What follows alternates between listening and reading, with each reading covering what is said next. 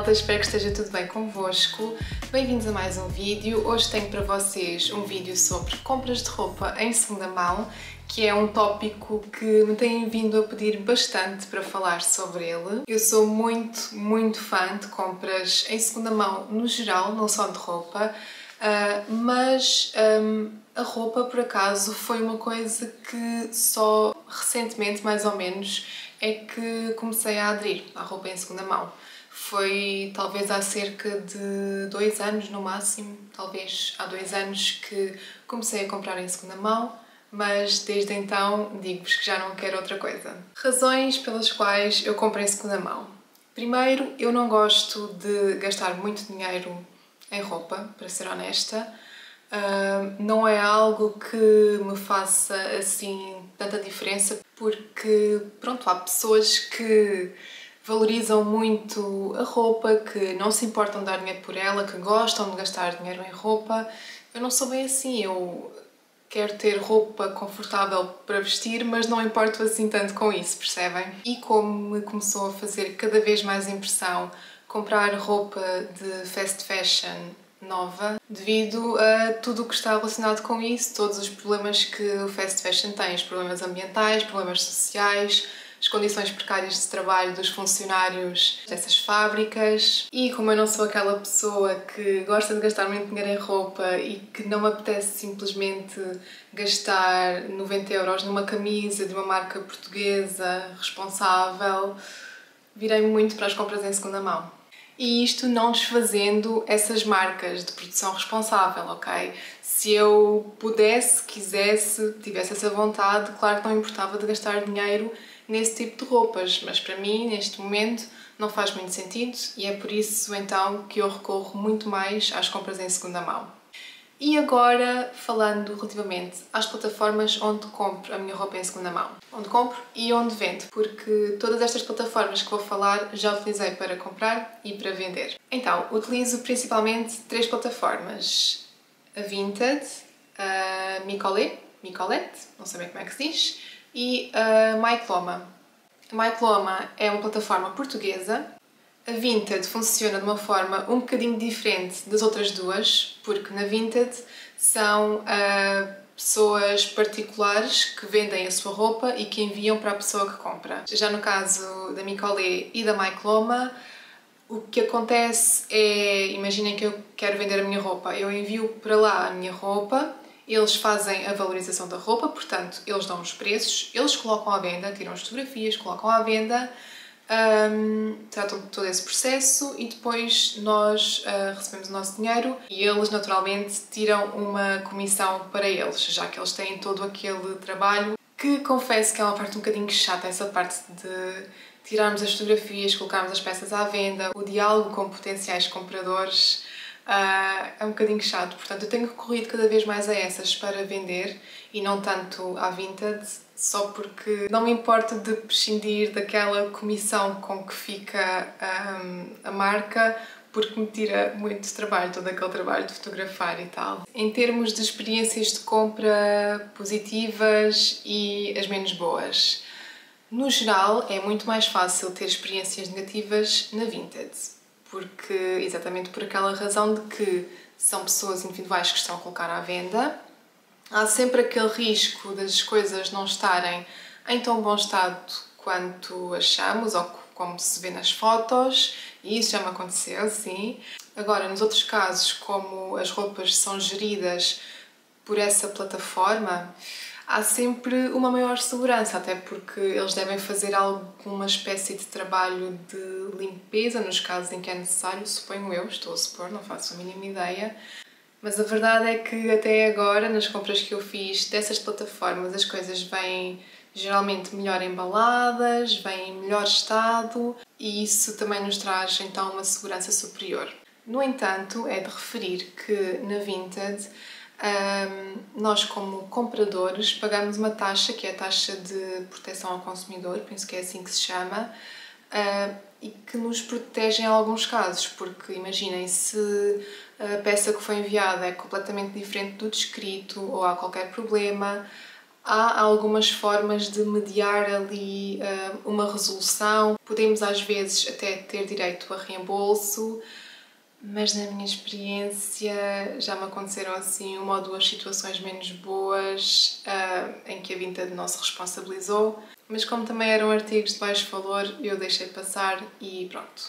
Mas falando então de experiências menos boas, na Vinted já me aconteceu assim as peças virem assim não muito limpas. Uh, já comprei também, lembro-me que comprei assim uma blusa meio acetinada que vinha com imensos fios, sabem aqueles fios que vão ficando assim desfiados, não sabem como é que se diz, mas isso também já me aconteceu.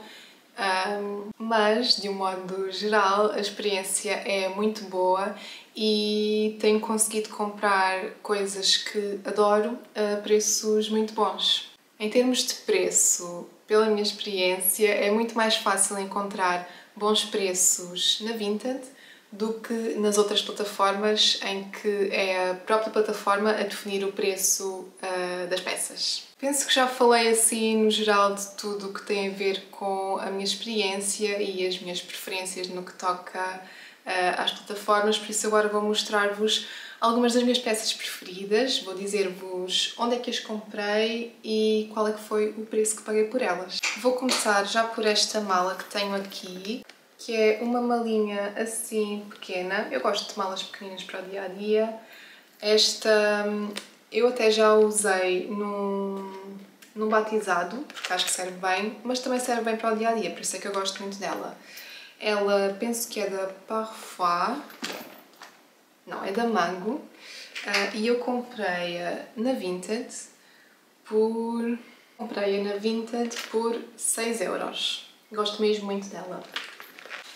Em termos de calças, uh, só tenho aqui estas para vos mostrar, mas eu gosto muito deste modelo, que é o modelo Mum Slim da Stradivarius.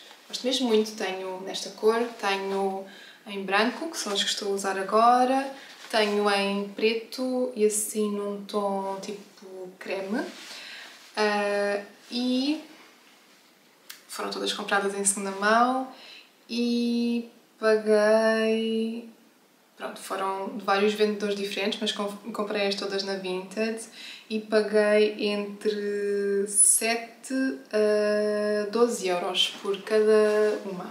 No que toca a calças sou mesmo muito básica e por isso não tenho aqui mais nada para vos mostrar em termos de calças. Tenho aqui um conjunto assim tipo fato de treino que eu sempre, sempre, sempre que utilizo este conjunto e que mostro lá no Instagram perguntam-me de onde é que é. Que é este aqui, esta é a parte de cima, sim, nestes tons, tem capuz, e depois tem as calças que fazem em conjunto. Ele é da Primark, comprei na Vinted, foi logo das primeiras compras que fiz e paguei. Quanto é que eu paguei? Tu, tu, tu. 10 euros por este conjunto. Ele na Primark não devia ser muito mais caro que isso, suponho eu, mas achei que foi uma boa compra de qualquer forma. Passando para casacos, comprei esta gabardine esta foi comprada na Micolé. Ela é da Zara. Gosto muito dela, gosto muito da cor, gosto do tecido. Uh, e ela custou-me, penso que foi um, 17 euros, mas eu vou deixar aqui o preço porque já não me lembro uh, e não tenho aqui a aplicação para ver. Mas adoro, adoro, adoro, adoro esta gabardine. Continuando aqui nos casacos, eu vou mostrar este, mas ele fica-me grande eu acho que vou vender. Mas eu gostei mesmo muito deste blazer. Ele, apesar de ser o 36, eu comprei-o pensando que era um S36, só que ele ou é muito oversized, não sei, mas não, não gostei muito de ver em mim. Sinto mesmo que fica muito largo, portanto eu vou colocar à venda. Mas só para verem que este blazer, que está incrível, eu gostei mesmo imenso dele, por isso tenho muita pena. Mas ele custou-me. Deixem-me confirmar. Custou-me 9 euros. Este blazer, na Vinted. Adorei, mas vou colocar à venda. Portanto, se quiserem, vão lá ver no meu perfil da Vinted, que eu vou deixar aqui na descrição. Tenho muita pena. Este blazer também comprei na Vinted, é um blazer branco da H&M. Gosto muito, muito, muito dele. Uh, e paguei 12 euros por ele, foi 12 euros. E adoro este blazer, simplesmente adoro. É assim, tem um corte um bocadinho mais formal do que os outros blazers que, que eu tenho, que são assim um bocadinho mais relaxados, mas gosto mesmo muito dele. Agora tenho aqui duas camisas para mostrar e depois é só vestidos. Esta foi uma compra recente, mas adorei. É uma camisa da Levi's, que é um, Boyfriend Fit. Ela dá para usar assim aberta ou então fechada. Adorei esta camisa e eu quero comprá-la em branco, por isso vou procurar para comprar também. E ela custou-me 8 euros. 8 euros por esta camisa da Levi's. Digam lá se não foi um bom achado. Gosto muito, muito desta camisa. Ela é assim uma mistura de algodão e linho e adoro para esta altura do ano, da primavera. E tenho aqui esta camisa que é da Zara, também comprada na Vinted por, por 8 euros. Mas eu não a utilizo muito. Eu acho-a linda de morrer, mesmo. Olha, ela tem aqui este botãozinho de cima. É assim. Acho mesmo gira. Mas não a utilizo muito, não sei porquê. Portanto, estou a pensar vender. Não foi... Apesar de eu a adorar, acho mesmo linda. Tem assim mangas tipo balão, acho que é assim que se diz. Mas não a tenho utilizado muito, portanto também sou capaz de vender esta camisa. Agora, vestidos. Este vestido também é daquelas coisas que sempre que eu uso perguntam-me onde é que eu comprei. Este aqui é um vestido de linho da Mango. Este vestido, uh, deixem-me lá ver primeiro quanto é que ele custou, para vos dizer. Uh, uh, eu já não consigo aqui identificar qual é que foi este, porque já não aparece aqui a foto, não sei porquê. Mas eu penso que ele foi qualquer coisa como 14 euros ou 15. Ele vinha todo encardido aqui atrás, nesta zona do, do pescoço, sabem? Enfim, não sei mesmo como é que as pessoas têm coragem de enviar assim as coisas. Uh, mas pronto, não é nada que não se limpe. E aqui está ele, limpinho e lindo de morrer. Gosto mesmo muito deste vestido. É fresco, é confortável e é lindo. Um bocadinho dentro do estilo do anterior, tenho aqui este, que foi uma compra recente. Este é da Zara, também é assim de linho, nesta cor mais neutra. É um bocadinho mais comprido e adoro. Ainda não utilizei, mas já o experimentei e gostei muito de, de ver como fica. Este aqui, eu lembro, ele foi muito barato, ele foi barato para, para o que é. Foi 10 euros este vestido e sinto que o vou usar muito, muito, muito agora no verão. Mais uma compra recente, um vestido de malha da Zara. Ah, eu não estou a dizer, mas estas comprei todas na Vinted. Um vestido de malha da Zara, assim, midi. Uh, ele vinha com etiqueta, é novo eu acho que é recente, não sei se é da nova coleção, mas deve ser recente. Uh, a única parte má é que ele, apesar de não parecer, quer dizer, se calhar até parece, vê-se aqui o cabelo de baixo.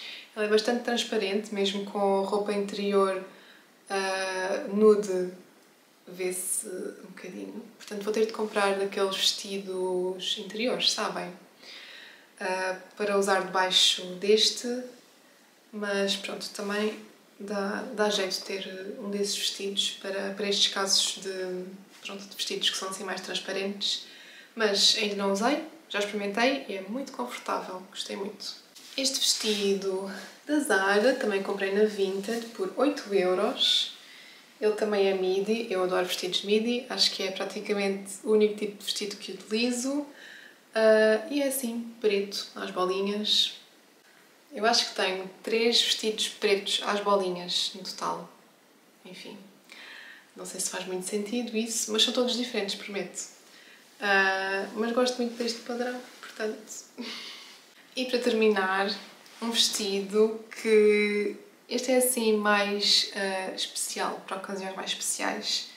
Eu ainda não tive a oportunidade de utilizar, mas é, é assim, eu acho lindo. Ele é assim e depois aqui embaixo é assim, também é midi, tem um cinto,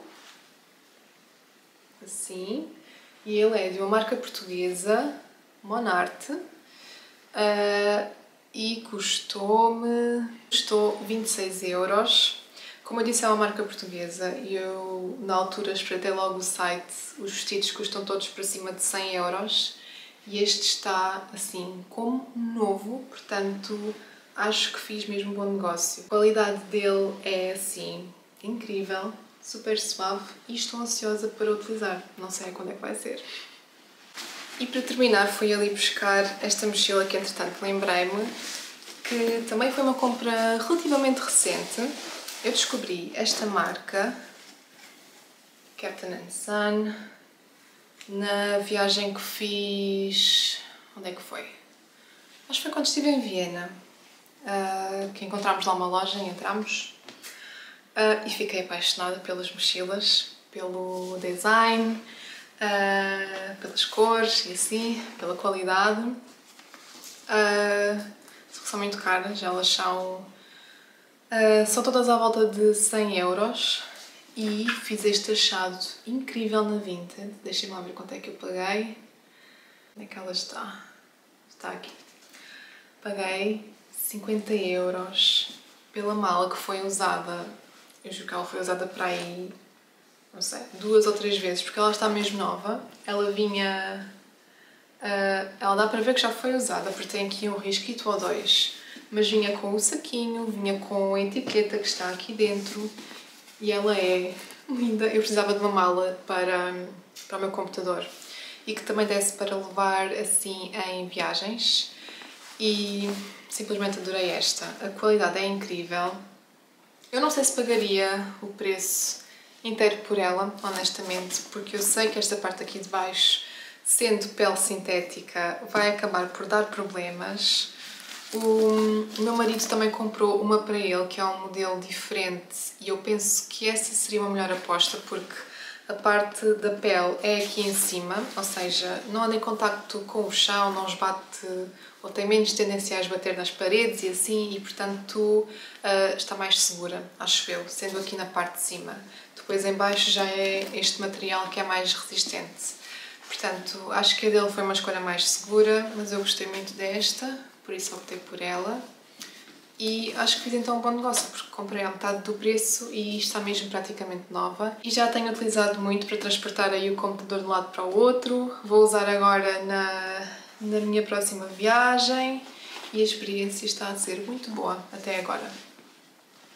E era isto que tinha para vos mostrar em termos de compras. Espero que tenham gostado deste vídeo. Se tiverem alguma dúvida sobre as compras em segunda mão, sobre as plataformas, qualquer coisa, deixem aqui nos comentários para eu responder, para esclarecer as vossas dúvidas. Se ainda não compram em segunda mão, espero ter-vos incentivado a explorarem um bocadinho mais esse mundo e talvez começarem a fazer as vossas compras em segunda mão.